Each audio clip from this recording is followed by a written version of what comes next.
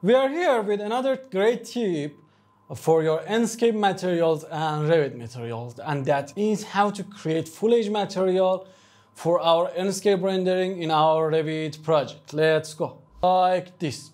As I said, sometimes for some kind of materials, we need some translucency and to do and to simulate those kind of materials, we need to create them as foliage material. For example, we are simulating leaves, we are simulating some plants or other materials that has uh, a similar manner to this kind of uh, material. That's not very hard and we can do it with uh, Enscape Material Editor in newer versions of Enscape plugin for our Revit project.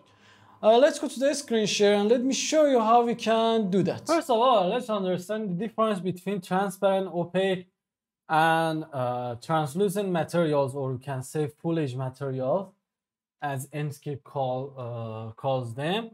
Uh, as you can see here, this material here is transparent. It will transfer the light and also you can see uh, through the material. But in translucent uh, materials, uh, for example, leaves or something uh, in that kind of area, it will transfer a little bit of light, but you can see uh, through that. For example, you can, uh, as you can see, we just see the shadow of the hand. We don't see the hands accurately in this kind of material. Also, another example is uh, this one.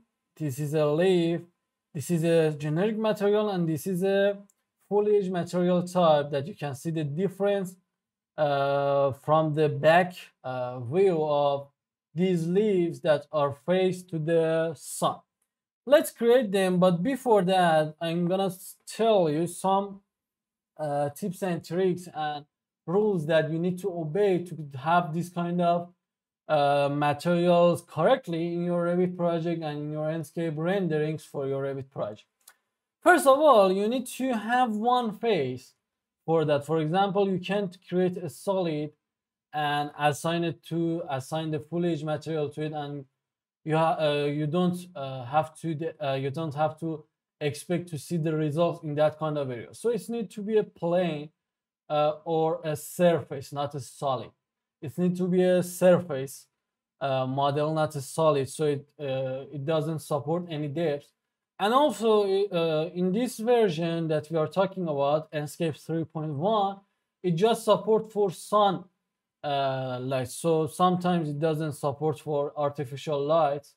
Maybe it works sometimes, but it doesn't work uh, uh, all it doesn't work all the time so it can be a bug or it's it is intentional in this version and they would change it or not i don't know exactly about the uh, destination of this one okay let me uh, one of the easiest way to create a surface in revit is to use maskings let me create a place in mask for this and let's set our work plane to this here, uh, this uh, surface here. And let me create three line here. A straight line here. Another one here. And another one here.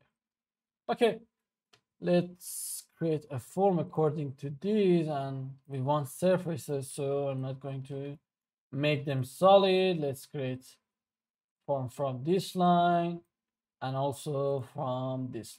I will create a form after showing these two first and then I'm going to show you another effect with two foliage material after each other.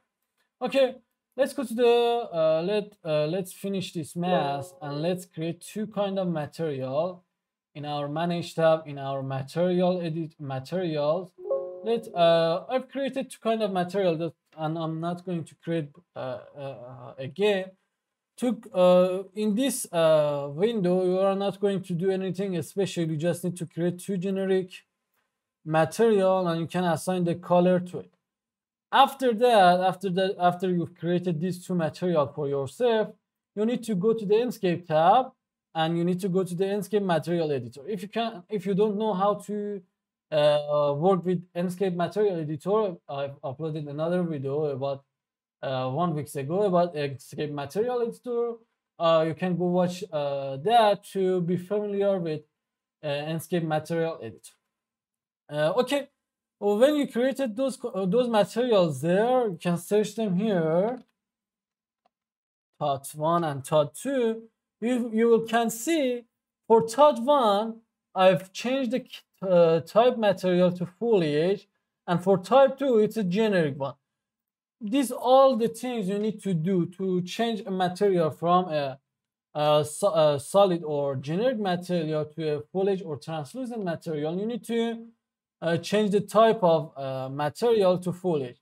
It's uh, the bad thing here that we can't uh, uh, we can't manipulate the amount of translucency here.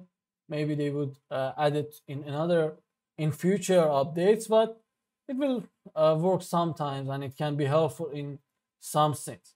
Okay, the first one is foliage. The second one is generic. The color is the same. Let me uh, select this mask again. Let me create, uh, select this one. And let's assign the foliage one to this. And let's select this one and let's assign the generic one to this one. And let's see the results in our Enscape rendering. Okay, as you see, when uh, the sun is here and when you are facing with the sun and you are in uh, direction with sun, it doesn't make any difference. But when you go to the behind of the behind of them, you can see this foliage material will uh, transfer the light, but this one doesn't transfer the light and this uh, this is the difference between foliage or translucent material and uh, generic type of material another another uh, uh, situation will be we're having two foliage material after each other. Let's create another form with this line. And let me bring it up.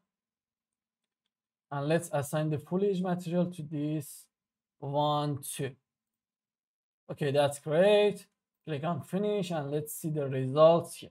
As you can see, for the part of that, uh, for the part that these two are colliding with each other, uh, the amount of the light that are transferring is too low but for the other part uh, is uh, the same as previous render that we saw okay that's all of it. So it's not a really big uh, trick or uh, a really big workaround but it can be helpful in some areas in some